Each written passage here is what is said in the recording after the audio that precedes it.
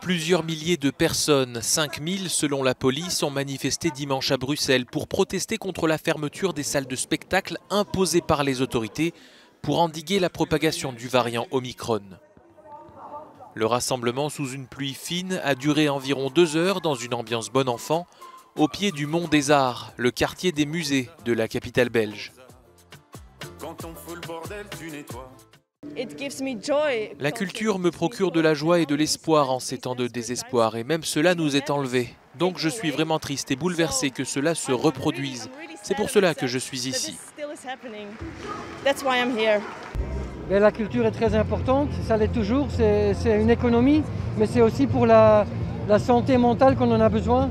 Euh, c'est le seul moyen où les gens peuvent encore voir des choses, vivre des choses, se raconter des histoires. C'est essentiel d'être ouvert euh, dans ces euh, temps compliqués et complexes.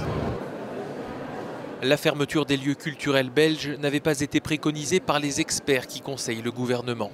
Et pour cause, malgré la situation tendue dans les hôpitaux, les chiffres absolus d'infection diminuent depuis trois semaines. Certains spécialistes estiment que cette mesure est incohérente, sachant que les cafés et les restaurants peuvent rester ouverts sous certaines conditions. Mais les autorités présentent ces fermetures comme une mesure de précaution face au variant Omicron, très contagieux.